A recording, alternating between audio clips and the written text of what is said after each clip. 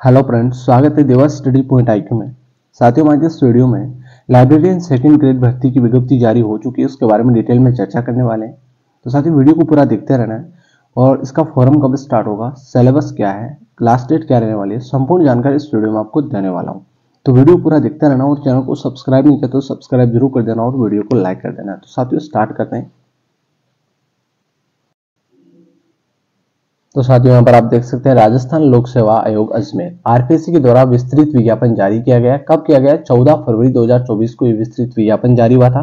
यहाँ पर आप देख सकते हैं पुस्तकालय ग्रेड सेकंड माध्यमिक शिक्षा आरपीसी आयोग के द्वारा माध्यमिक शिक्षा विभाग के लिए राजस्थान सेवा, राजस्थान शिक्षा एवं अनुसूचित क्षेत्र, राजस्थान अनुसूचित क्षेत्र अधीनस्थ लिपिक वर्गीय और चतुर्थ श्रेणी सेवा नियम 2014 के अंतर्गत पुस्तकालय ग्रेड सेकंड के कुल 300 पदों पर ऑनलाइन आवेदन आमंत्रित किए जाते हैं।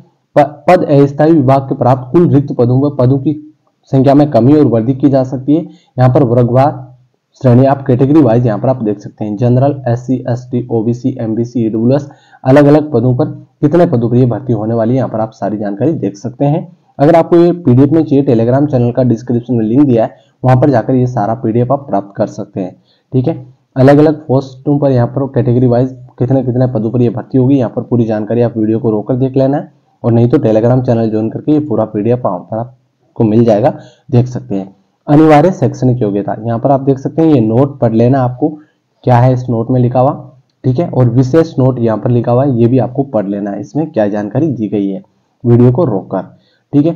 उसके बाद में अनिवार्य शैक्षणिक योग्यता क्या रहने वाली है? यहाँ पर आपको देख लेना है graduate examination recognisation UGC with degree diploma in library science आपके पास डिग्री डिप्लोमा होना चाहिए और ग्रेजुएट होना चाहिए और working knowledge in Hindi written in Devanagari script and knowledge of Rajasthan culture Rajasthan culture का आपको नॉलेज होना चाहिए और हिंदी रिटर्न आपको एग्ज़ाम में देवनागरी स्क्रिप्ट के बारे में भी जानकारी होनी चाहिए। ये सारी जानकारी यहाँ पर आप देख सकते हैं। नोट ये नोट भी आपको पढ़ लेना है। क्या है?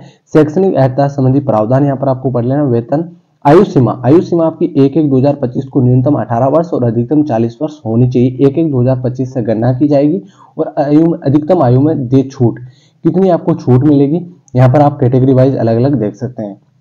ठीक है, पाँच वर्ष की छूट है, दस वर्ष की छूट है, पाँच वर्ष की छूट है, अधिकतम आयु सीमा यहाँ पर नहीं है। ये सारी जानकारी आपको देख लेनी है। आपकी अलग अलग जो कैटेगरी आपकी, यहाँ पर आप आयु में छूट देख सकते हैं। आपको कितनी आयु में छूट मिलने वाली है।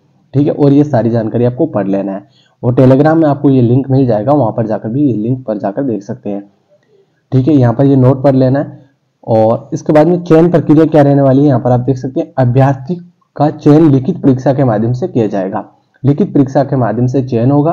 परीक्षा का स्थान और माह तिथि के संबंध में यथा समय सूचित किया जाएगा। परीक्षा का स्थान और जो परीक्षा कब होगी, यह आपको यथा समय बाद में सूचित किया जाएगा और परीक्षा का पाठ्यक्रम है, वो आपको अलग से मैं वीडियो बना दूँगा एक सिलेबस का। और आवेदन की जो प्रक्रिया है, वो 20 फरवरी से स्टार्ट होगी 20 मार्च तक आप आवेदन कर सकते हैं। आवेदन की अवधि 20 फरवरी से 20 मार्च तक आप आवेदन कर सकते हैं, रात्रि 12 बजे तक। आवेदन की प्रक्रिया यहाँ पर आप देख सकते हैं एसएसओ पोर्टल से आप आवेदन कर सकते हैं। ठीक है वन टाइम रजिस्ट्रेशन आपने नहीं किया तो वन टाइम रजिस्ट्रेशन कर लेना है, ये पूरी जानकारी यहाँ पर आप पढ़ सकते हैं। ठीक है, इसके बाद में एस आई की से आप फॉर्म लगा सकते हैं। ऑनलाइन आवेदन में संशोधन संबंधी सूचना यहाँ पर आपके सामने दी गई है। ये पढ़ लेना है। और यहाँ पर आप देख सकते हैं, सामान्य पिछड़ा वर्ग क्रिमिलियर अति पिछड़ा वर्ग क्रिमिलियर अभ्यर्थी को छह सौ रुपए फ़ीस होगी। आरक्षित अनुसूचित जाति अनुसूचित जनजाति, पिछड़ा वर्ग, नॉन क्रिमिलियर अति पिछड़ा वर्ग, नॉन क्रिमिलियर आर्थिक रूप से कमज़ोर, शहरी क्षेत्र को चार सौ रुपए फ़ीस होगी। दिव्यांगजनों के लिए भी चार सौ। और राजस्थान राज्य से भिन्न अन्य राज्य से आप अगर इसमें फॉर्म लगाते हैं तो आपको छह सौ रुपए फ़ीस से आप जनरल कैटेगरी में फॉर्म लगा सकते हैं। ठीक है, यहाँ पर आपको पूरा जानकारी दी गई है। ठीक है पेपर फ़र्स्ट में यहाँ पर 200 क्वेश्चन होंगे 200 मार्क्स होंगे, दो घंटे का समय होगा और 100 क्वेश्चन होंगे। और पेपर सेकंड में भी यही होने वाला है। पेपर सेकंड में यहाँ पर 200 मार्क्स हो गए, दो घंटे का समय और 100 क्वेश्चन होने वाले हैं। दो अलग अलग ये पेपरों की जानकारी दी गई है। ठीक है साथियों, यहाँ पर पूरी जानकारी आप पढ़ सकते हैं। अति महत्वपूर्ण बिंदु है, ये सारे आपको पढ़ लेना है। क्या क्या है इसमें, वीडियो को रोककर और साथ वीडियो कैसा लगा लाइक शेयर सब्सक्राइब ज़रूर करना है। और आपको ये पीडीएफ टेलीग्राम चैनल पर मैं डाल दूँगा, वहाँ पर जाकर भी आप सारी जानकारी देख सकते हैं। तो साथ ही वीडियो को लाइक और चैनल को सब्सक्राइब ज़रूर कर देना है। धन्यवाद, जय हिंद।